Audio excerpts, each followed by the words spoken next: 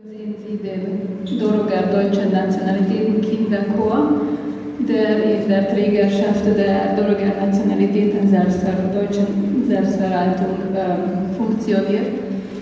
Sie haben in, bei der letzten Landesqualifikation im März ebenfalls den Goldenen Rosmarin erreicht in der Kategorie Volksmusik und auch den Festivalpreis.